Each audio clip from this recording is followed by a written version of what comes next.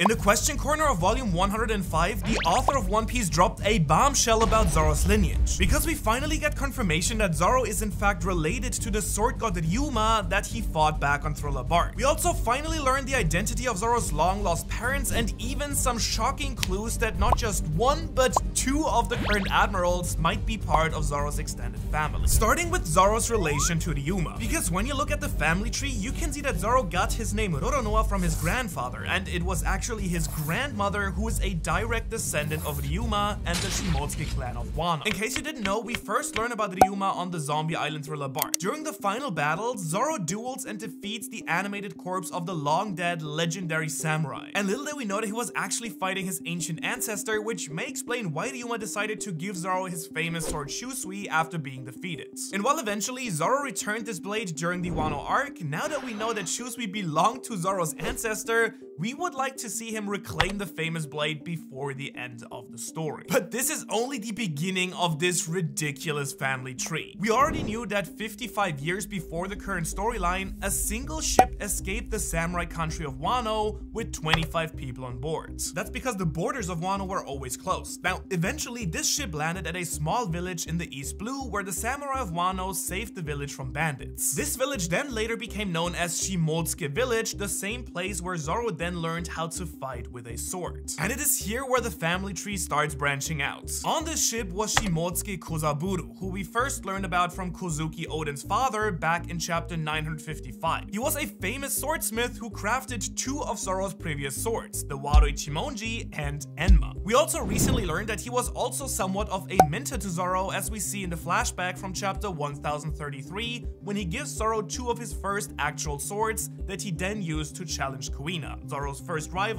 and the person that he made a promise with to become the greatest swordsman in the world. And this Shimotsuki Kozaburo then married a girl from the village and became the father of Koshiro, who was the master of the dojo where Zoro trains. Koshiro then again later married someone else and became the father of Kuina. But with this new information from the question corner, as you can see right here, we learned that Zoro and Kuina were actually both a part of the Shimotsuki family tree, though whether they're directly related as cousins or something, or more distantly related, is still unknown. Which takes us back to Zoro's direct lineage, which is the most interesting part as it gives us some incredibly juicy clues about Zoro's future. And you won't believe what other powerhouses in the One Piece world might actually be a part of Zoro's family. But before we can get into those juicy bits here, I want to mention that while it is incredibly exciting to learn more about Zoro's past, it is equally disappointing for me that we're not learning about all of this in the main story. I mean, really, how many opportunities were there during Wano's where you could have shown this same information, but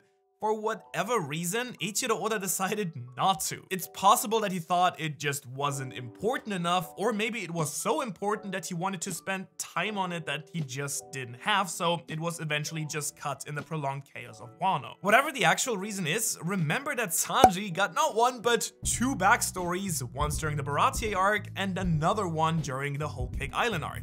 An entire arc only dedicated to his entire family, so I, for one, think that in the four years that we spent in Wano, could have at least gotten like one chapter or so on Zoro's past, even if it's just as a side story. In my personal opinion, it would have made Zoro's role in Wano even more impactful. I mean, just think of scenes like the execution of his relative Shimotsuki Yasuie. With that being said though, let's continue with the family tree because there are actually some insane secrets that we can learn from Zoro's family names. Starting with Zoro's grandmother, Shimotsuki Furiko. Furiko was on the same ship that departed Wano 55 years ago, and we're told in the question corner that she is the older sister of this guy, who we first met back in chapter 1024 during Yamato's flashback. And this guy is no one less than the former daimyo of the Ringo region in Wano, Shimotsuki Ushimaru, who for a while were thought was actually Zoro's father. Well, it turns out he was just his great uncle. And we've speculated a lot before on this channel about Zoro's future after the Straw Hats find the One Piece, but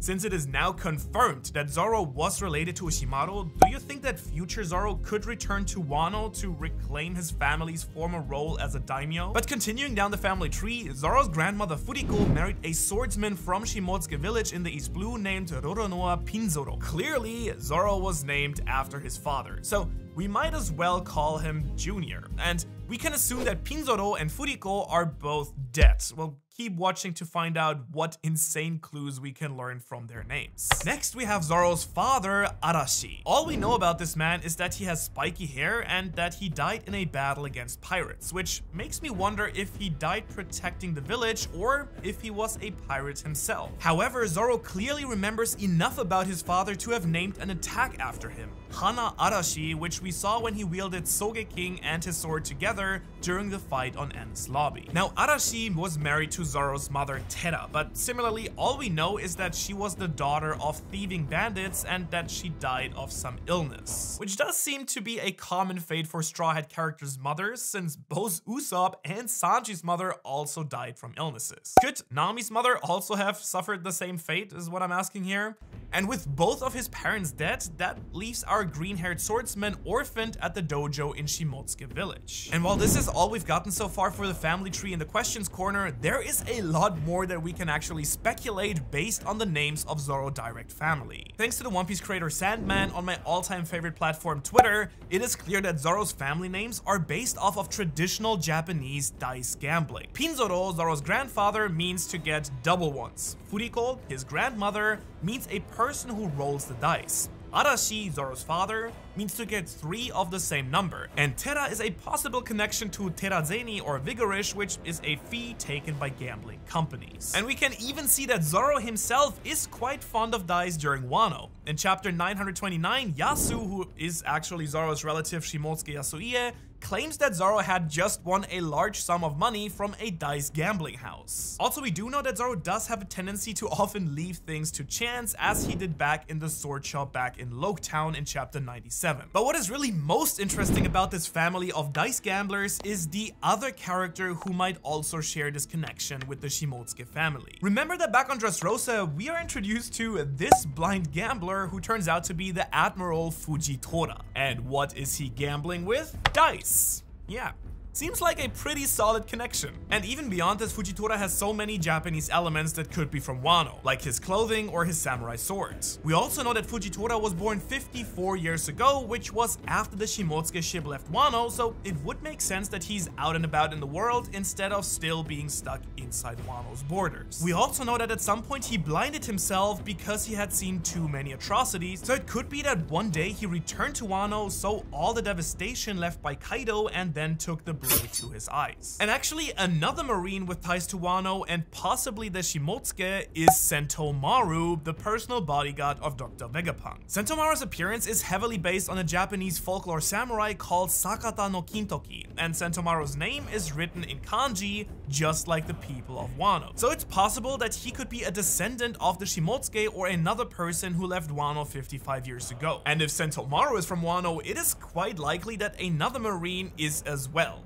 this time the Admiral Kizaru. Kizaru speaks with a very similar, respectful, samurai-like and old-fashioned tone, and Sentomaru even refers to him with the honorific title of uncle. And the reveal of Zoro's true family tree of course also added some fuel to the fire surrounding Marine Captain Tashigi. We've long known that she looks strikingly similar to Kuina, and with all that we've learned in this question corner, it is even more likely that she is actually a Shimotsuki. Kuina also could have been another descendant of Kozaburo or another unnamed Shimotsuki from that ship. And if that's the case, does Tashigi even know that she's a descendant of the samurai of Wano? In fact, even Zoro and his childhood friend Kuina seem to be unaware of their famous ancestors, which kind of makes you wonder why no one ever told them. Were their parents trying to protect them from the Marines or even keep Zoro and Kuina from returning to Wano? Well, we don't have the answer to that question quite yet. If you want to learn more about Zoro as a kid and the true origin of his dream to be the strongest swordsman in the world, you can watch this video about every single backstory in One Piece right here. Thanks for watching.